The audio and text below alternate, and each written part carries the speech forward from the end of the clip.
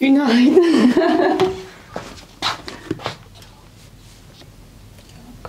Bırak Allah. Yeter.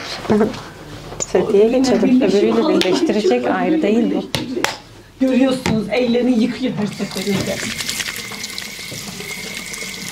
Biz Adam tuvalete gel istiyor. Geliyor. Yemeğini yiyor.